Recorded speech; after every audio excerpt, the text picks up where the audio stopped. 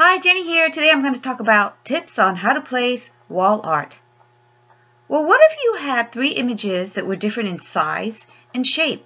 How would you place them on the wall? Okay, on the first image we have what we call a center alignment, where the center of the image is in one line. So we said last time that's about five feet.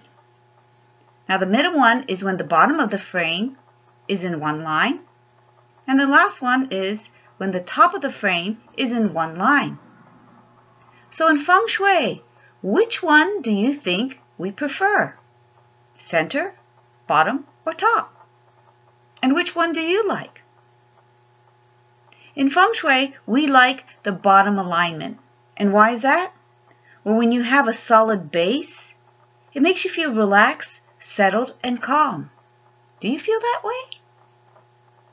Let me know how you feel. Okay, that's all for today. Thanks for watching.